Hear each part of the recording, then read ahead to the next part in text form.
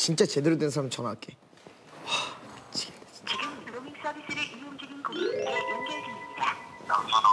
형님, 어, 형 뭐해요? 바빠 빨리 끊어 형, 언제까지 나 혼자만 내내야 되는 건데?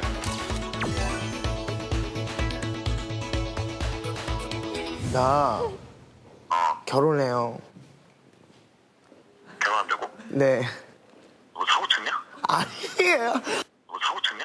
아니에요. 아 진짜 아니에요. 아니. 아 그게 아니라 내가 일본 그 여자 배우분이랑 결혼해요. 있어요. 알았다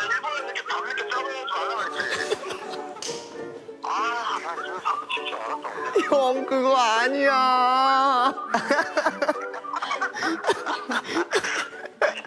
안녕하세요.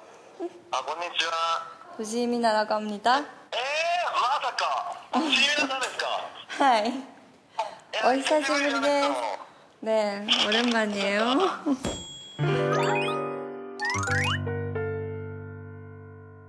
형 근데 어떻게 알아요? 나랑 2년 전에 일본에서 뮤직비디오 같이 찍은 적이 있거든 아 진짜?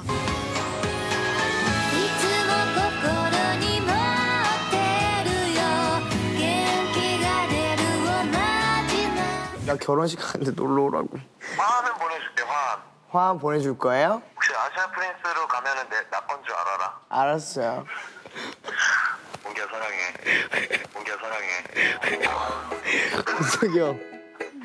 형, 아무튼 형 몸 조심해서 다녀와요. 응, 결혼식 같이 있으면 꼭 갈게 알았어요. 고마워요, 형, 진짜.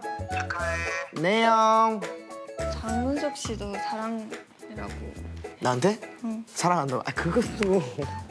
어, 일본에서는 아이스테로 그런 말은 안 하는데 보통 어, 나 하던데? 친구들끼리? 남자도 남자끼리. 여자도 부르고 남자도 부르고 잘못했어. 초대 전화 잘못했어. 근석이 형이 가장 잘못했어. 내가 가장 믿었던 근석이 형이 예능을 너무 하고 싶었나 봐요. 부인이 옆에 있는데. 근석이 형 어디 방송 나가서 꼭 나한테 전화 연결했으면 좋겠어요.